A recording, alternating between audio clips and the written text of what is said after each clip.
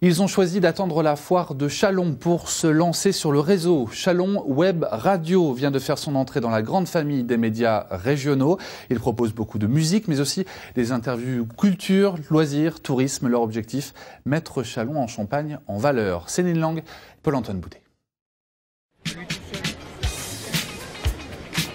Bonjour, vous s'appelez comment Laura? Laura. Comment ça va les bases bah, Disons que c'est plutôt pas mal.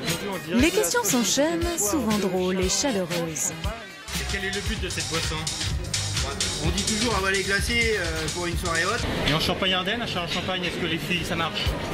Le pas est alerte, il faut de bonnes jambes pour sillonner la foire pendant 11 jours, il faut des idées aussi, il faut se renouveler tout en restant toujours décalé.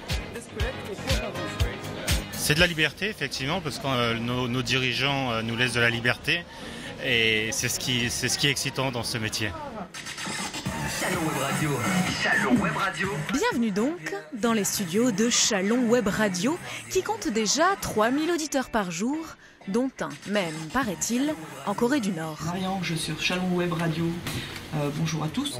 Il y a une semaine, pourtant, ni Hervé ni Marie-Ange, les fondateurs, n'avaient jamais parlé dans un micro.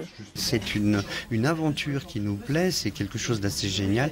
Et puis on se retrouve aussi en même temps euh, du même côté que vous. Euh, on, on devient presse. Et, et, et presse, c'est beaucoup d'aventures, c'est beaucoup de contraintes et c'est vraiment passionnant.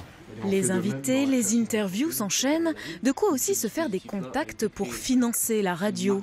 Hervé et Marie-Ange vendent donc en parallèle de la publicité, du graphisme, de la conception de sites internet pour avoir une visibilité dans le centre-ville de Chalon, de telle manière à pouvoir recevoir comme il se doit nos, euh, nos différents intervenants afin d'établir aussi une vraie grille de programme. Merci beaucoup. Musique, loisirs, tourisme, culture et toujours la capitale champenoise sur le devant de la scène.